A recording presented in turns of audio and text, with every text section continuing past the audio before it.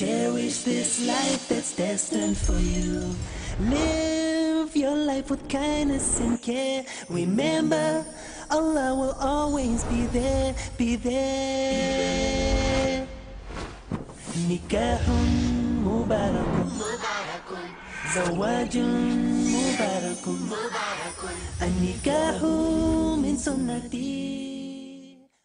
Alhamdulillah. Wassalatu wassalam. Ala Rasulillah wa ala ali wasabi ajmain. Amma ba'd. A'udhu billahi minash shaitanir rajim. Bismillahir rahmanir rahim. Hunna libasul lakum wa antum libasul lahunna. Rabbi shrah li sadri wa yassir li amri wa hlul 'uqdatam min lisani yafqahu qawli. I welcome all of you with the Islamic greetings. Assalamu alaikum wa rahmatullahi wa barakatuh. May peace, mercy and blessings of Allah subhanahu wa ta'ala be on all of you. I welcome you to the special program of Better Half or Bitter Half. And in this program, you're most welcome to ask any questions related to marriage, how to conduct a nikah, regarding how married life should be led. You can ask any questions that you'd like to know before you say I do, before you say Kabul hai, before you say I accept it, or any questions related to anything that related to your life after you say I do, after you say Kabul hai, after you say I accept it. You're most welcome to ask any questions regarding marriage. In short, you're most welcome to ask any questions so that after you say I do, you should have a successful wedlock and not a padlock. So the program will start better half or better half, wedlock or padlock. If any other sisters have any questions, Assalamu alaikum. Wa alaikum assalam wa rahmatullahi wa barakatuh. Is it necessary to have the nikah in the mosque? The sister has a question, is it necessary to have the nikah in the mosque or is it a sunnah to have the nikah in the mosque?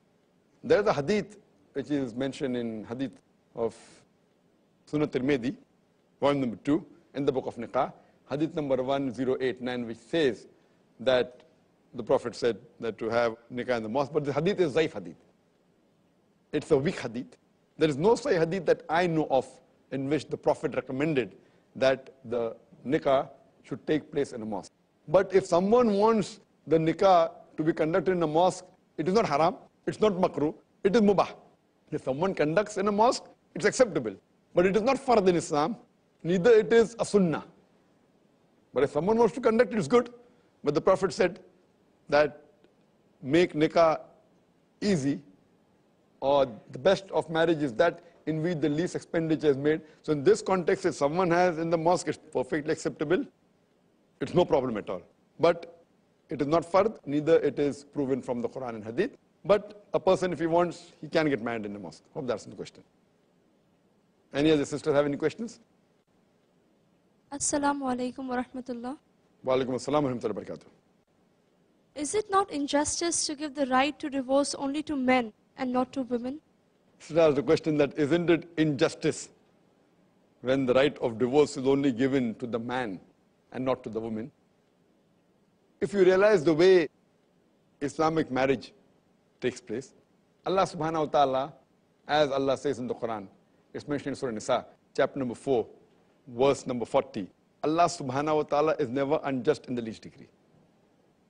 And the Quran says in Surah Baqarah, chapter number 2, verse number 228, that the women have rights as against them on terms equitable, but the men have a degree of advantage. So overall, the Quran says the men and women are equal, but some places they have a degree of advantage.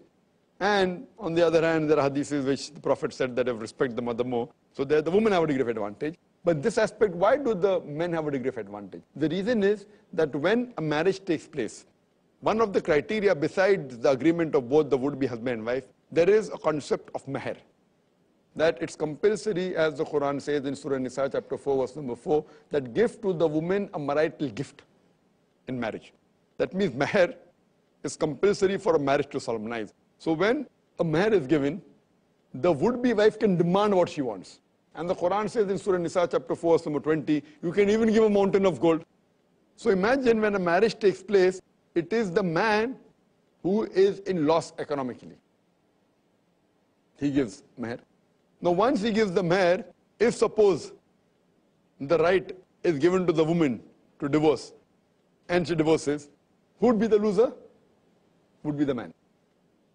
And in case if a divorce takes place, the girl can marry again. When she marries, she gets a new meher. Here, if the man marries, he has to give a new meher. So therefore, economically, the woman is secured. So based on this, generally by default, Allah subhanahu wa ta'ala has given the right to the man to divorce. And furthermore, the Quran says in Surah Nisa chapter 4, verse number 34, Ar-rijalu qawwamuna ala nisa that the men are the supporters of the women. For Allah has given one strength more than the other. So based on this, because man is a qawwam, he is the leader in the family, but naturally by default, the right to divorce goes to the man because he is the one who looks after the family, etc. But that does not mean a woman cannot demand the rights. During Nikah if she wishes, she can put a condition that I too want a right to divorce. Because by default it goes to the man, but if the husband wants to give that right even to the would-be wife, he can give. So in the Nikah if the woman wants, if the would-be wife wants to put a condition, and if the husband agrees, she can put a condition, so both will have the right. But otherwise, by default, without any rules and regulation, the right goes to the man. Otherwise, I'll have to give a talk on men's rights in Islam. Hope that answers the question, sister. Any other sister has any questions? Assalamu alaikum. Wa alaikum assalam wa rahmatullahi wa barakatuh. Is it encouraged to marry within the same community like Konkanis marry only Konkanis? Sister has a question that is it encouraged for a girl or a boy to marry within the same community like Konkani marrying Konkani or Memon marrying Memon? We only got stuck to Konkani because then I'm a Konkani. So it can go Sheikh marrying a Sheikh or a Sayyid marrying a Sayyid. So realize the beloved Prophet Muhammad said, it's preferable to marry the same type of people, same category, whether it may be in category in terms of ethnicity, whether it may be in terms of economic status, whether it be in terms of community, because the compatibility is there. Because the Konkani have a different style of living, the Memon have a different style of living, the Keralite may have a different style of living, the person, UK American person, a different style of living, the European may have. So it's easy to gel. So it is preferable, but not a fard. Similarly, imagine an African marrying a European. It can go well, not it's not possible. It's possible, but the chances of compatibility is less. Similarly, a Chinese coming and marrying someone from Kerala, not that it's not possible, it's possible, but if you want to break this barrier for a cause, for example, I'm finding a more virtuous non-Konkani, then I prefer marrying a non-Konkani than marrying a Konkani. For in my case, I could not leave us at Konkani. I could not get a girl from Bombay who I wanted a virtuous, so I had to go to Pune. I had to travel 160 miles. So I not only left the community, I left the city also. So your reason to marry was virtue. So if virtue is the criteria, if you break these barriers of economic status, of nobility, of community, of ethnicity, there's no problem. Otherwise, generally, if exactly same, same virtues, who is from your community, not from your community, preferable, same virtues from your community. Same virtues who's rich and who's poor, and if you're rich, then same virtues who's rich is preferable. But if you find that one person more virtuous and out of the community is preferable, that one person is more important than matching your community or matching your ethnicity or matching your economic status. But if the virtue is not the criteria, otherwise marrying in the same level is preferable so that life becomes easier. So when you have a choice to choose the easy part, it's preferable to choose the easy part than the difficult. But that does not mean, because normally in Indian culture, it's very common. Konkani should marry a Konkani, 99%. Memon should marry Memon. A Kerala Malayali should marry a Malayali. And that's the reason, you know, they look for this criteria more important than virtue. Yes, I want virtue, but should be a Konkani.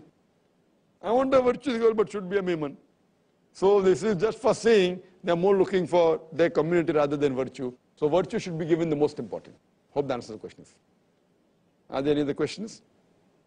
Is it cultural or is it promoted in Islam to give preference to younger women for marriage or to give preference to virgin over non-virgins or to give preference over good looking to average looking women? Sister asked the question that is it cultural in Islam? Is it preferable in Islam to marry younger women as compared to elder women? To marry more beautiful women as compared to average looking women?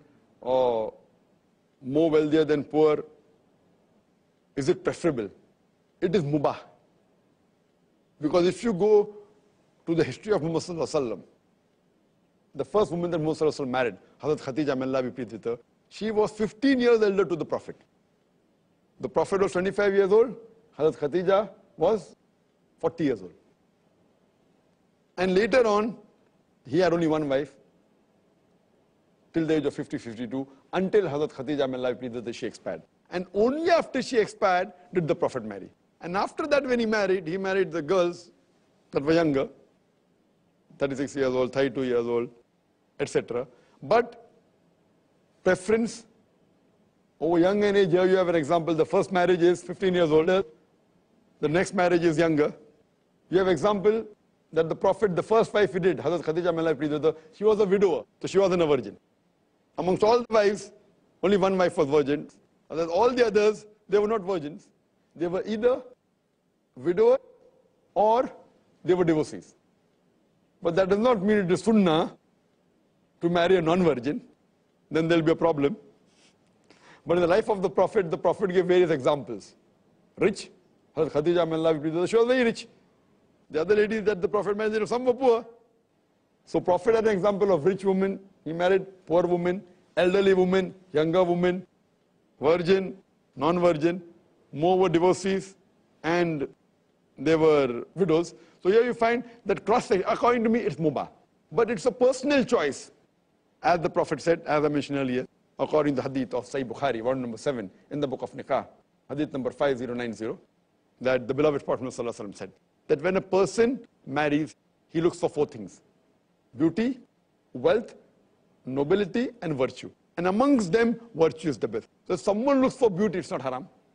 Someone wants a younger wife, it's not haram. Someone wants a wealthier wife, it's not haram.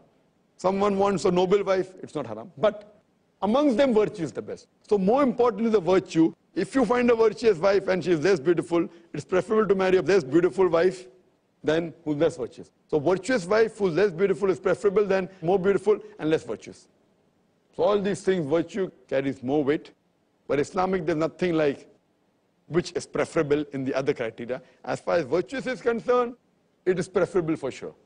Hope that answers the questions. Inshallah, we'll be continuing the session after a short break.